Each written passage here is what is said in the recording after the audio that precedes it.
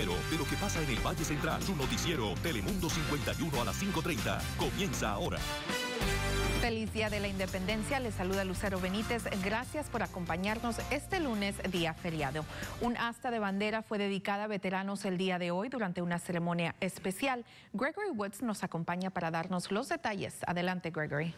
Lucero, la nueva asta de bandera ahora está adentro de la Casa de los Veteranos, en un patio. Es algo con mayor significado para los veteranos quienes viven allí. La bandera fue entregada por un guardia nacional del ejército al guardia de honrar, quien después escoltó la bandera por el edificio hasta, el patio para alzarla.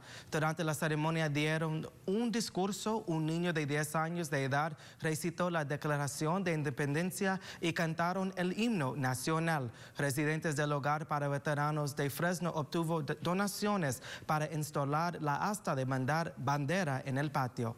This is really a special day for us. That was not. Este es un día muy especial para nosotros. Tenemos residentes que se mueren aquí. Queremos honrarlos con el asta para bajar y subir la bandera cuando queramos. No es controlado por el gobierno, es controlado por nosotros, dijo Gary Rodney veterano de la Armada de la Guerra de Vietnam. Miembros de la comunidad, al igual que otros veteranos, estuvieron presentes durante la ceremonia especial.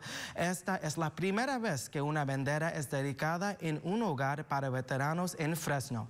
Gregory Woods, Noticiero Telemundo, Valle Central.